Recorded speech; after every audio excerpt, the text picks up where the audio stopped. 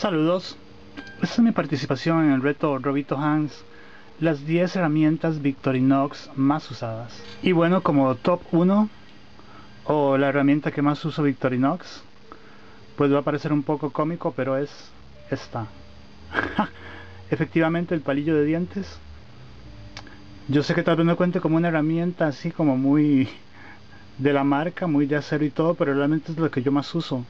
Aunque realmente he de reconocer que yo la uso un poco como excusa, pues siempre sí la uso después de comer para limpiarme los dientes y eso, pero es un poco la excusa para sacar la cuchilla y saco el palillo por ahí, pues para limpiarse uno los dientes o sí, entonces como que socialmente no se ve agresivo, ¿no? Porque no abro las hojas ni nada, sino que saco el palillo, pero siempre tengo la navaja sobre la mesa, lo cual me gusta mucho. Generalmente yo soy de esos locos que andan tres navajas mínimo. pues para eso son, para usarlas, ¿no? Así que top 1, el palillo. Ok, ahora sería el top 2 y sería las tijeritas de la Classic. ¿Y por qué? Bueno, esto es porque yo pues trabajo haciendo diferentes tipos de costuras, ¿no? Mochilas, ropa, ya. Así que para coser esta herramienta es súper útil para el momento de cortar los hilos de la máquina. Existen diferentes tipos de corta hilos, ¿no? Que son como tijeras pequeñas. Pero pues yo prefiero esta, la tijerita de la Classic. ¿Ves? Entonces este hilo que queda al final.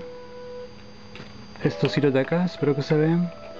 Es mucho más rápido y cómodo cortarlos con la tijerita de la Classic. Ok, muy bien. El top 3 sería la hoja grande. Por mi trabajo yo uso muchos tipos de materiales como esto, que es polifón, que se usa para los foros de los tirantes de los maletines, mochilas. También uso este otro tipo de foam. Y también uso mucho esto, que se llama lámina de PVC. Efectivamente es una lámina gruesa plástica. Y eso es de los materiales que más uso porque es súper versátil para hacer un montón de cosas y con esta navaja es súper rápido hacer los cortes. Esto viene en láminas gigantes de 3 por 2 entonces para sacar los pedazos pues es mucho más cómodo usar este tipo de navaja la de 111 no solo para esto la uso verdad también incluso para comer y un montón de cosas. Bien el top 4 sería la llamada hoja bisturí. Pero a mí me gusta usar la hoja bisturí de la bella y útil Tinker pequeña. Y debido a su tamaño es muy cómoda de agarrar como si fuera una especie de lapicero y también la uso mucho para cortar este tipo de lámina de PVC ¿ven? corta como un cúter. Es que el filo no lo pierde nunca. Incluso tengo aquí tengo cúteres que uso para eso pero es que yo prefiero siempre que se puede la navajita bisturí de la Tinker pequeña este material, esta lámina de PVC es súper versátil, así que voy a aprovechar para mostrar un par de cosas que se pueden hacer. Por ejemplo, esto es un dispensador para lapiceros. Todo esto se hace con ese tipo de lámina. Aquí hay un dispensador para rotuladores. Y aparte para utilería, lo uso mucho para hacer diferentes props. Para utilería, para el trabajo de teatro en el que estoy diferentes letras para usar en teatros de sombras, estructuras para muñecos, esqueletos de diferentes figuras los cuales forro después con espuma para hacer títeres y otras cosas. Ok, vamos ahora con el top 5. Y el top 5 no es otro que el super útil suelta nudos. Y este yo lo uso para hacer diferentes trabajos de paracord que fabrico muchas cosas con esto. Y el soltanudos es ideal. Aunque sí hay que reconocer que no hace falta que tenga tantas vueltas. Con solo dos o tres vueltas serviría, sería suficiente. Y esto se sería de esta forma. En caso de tener que soltar o socar también un nudo pues esto es lo más cómodo que he encontrado. Se metería por el nudo y al girar el mismo va saliendo y va a permitir poder socar, soltar nudos, jalar el paracord de un punto a otro, etcétera. Y hablando del soltanudos, aquí voy a aprovechar para mostrar mi último proyecto con paracord. Es un látigo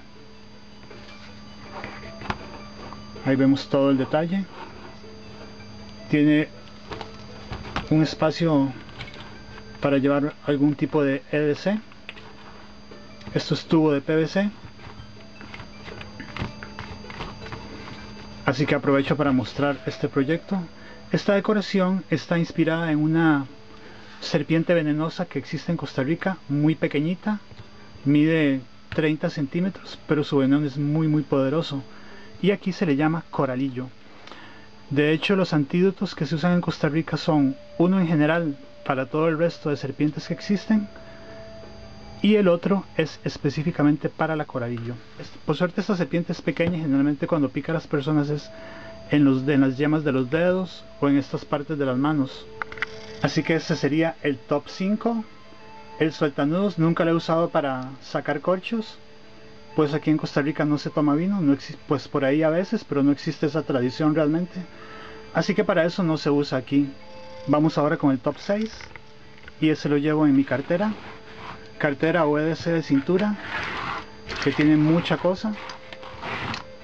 Va muy completo, ahí lo llevo todos los días, me encanta andarlo. Aquí hay tres cuchillas y la herramienta número 6 del top la llevo en dos cuchillas que voy cambiando esta sería la Sportsman y esta es la herramienta que quedaría en el top 6 que la llevo en la navaja Sportsman y también en la Wenger Highlander que es la lima. Y esta la uso mucho para el limado de uñas. Hace como un par de años estoy en clases de guitarra. Así que se ocupa la mano derecha con uña un poco larga y generalmente un poco afilada la mano izquierda corta. Así que esto es súper útil para mantener las uñas. Vamos ahora con el top 7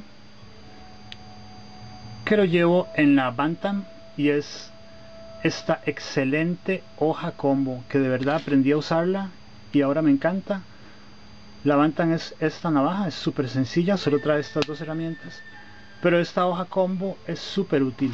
Yo la uso entre muchas otras cosas para marcar lámina de PVC o incluso cartón que tengo que plegar nada más sin cortar es súper útil. De esta forma puedo plegar sin cortar también me sirve para marcar font cuando tengo que hacer antes de cortes. Solamente marcar figuras para irlas plegando e ir creando algún tipo de utilería, juguete o muñeco o algo. Es súper útil. Así que esta aprendí a usarla en Colombia y desde eso me enamoré de esta pequeña hoja. Pues también puedo usar la el conocido abrelatas. Lo que pasa es que es más filoso entonces hay veces que corta y yo no necesito que corte por lo tanto me quedo con la hoja combo de la Bantam como top número 7. Como top número 8 tenemos la sierra en su versión pequeña, que sería la sierra de la Huntsman, que también la uso pues para lo mismo, para cortar PVC, lámina de PVC, pero también tubo de PVC. A veces la sierra de la 111 es un poco excesiva, incluso la de 130 es demasiado, esta ya es más para campamento. Por lo tanto, para mi trabajo diario pues la que más uso es esta que sería el top 8 la sierra de la Huntsman. Muy bien vamos ahora con el top 9 que lo vamos a ver en la Explorer. Y la herramienta del top 9 es nada más y nada menos que el desarmador plano y más que todo la uso para palanquear. Desde desarmar interruptores eléctricos separar materiales que estén pegados. Hay veces que las láminas que uso vienen en capas pegadas con cemento entonces para separarlas. Y entonces sería esta que es el desarmador pequeño o también el desarmador más grande que es el que traen por ejemplo la Trailmaster que es mucho más grande y más fuerte se ve sobre todo en la base. Y esto depende del material que tenga que separar. Y como top 10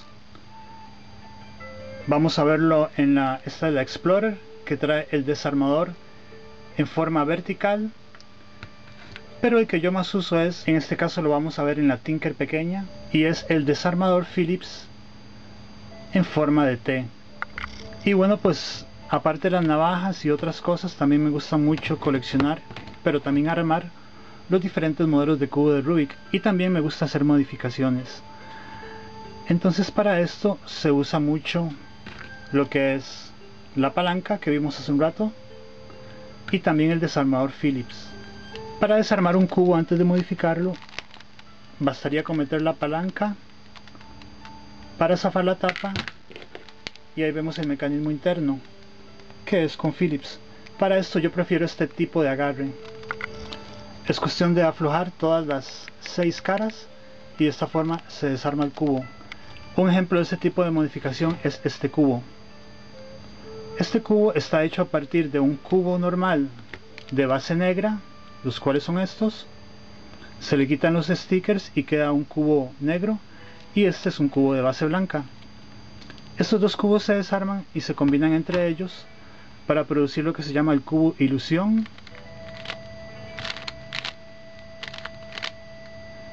Así que para esto me sirve un montón el desarmador Phillips de la Tinker pequeña y el abre botellas desarmador plano o en este caso palanca.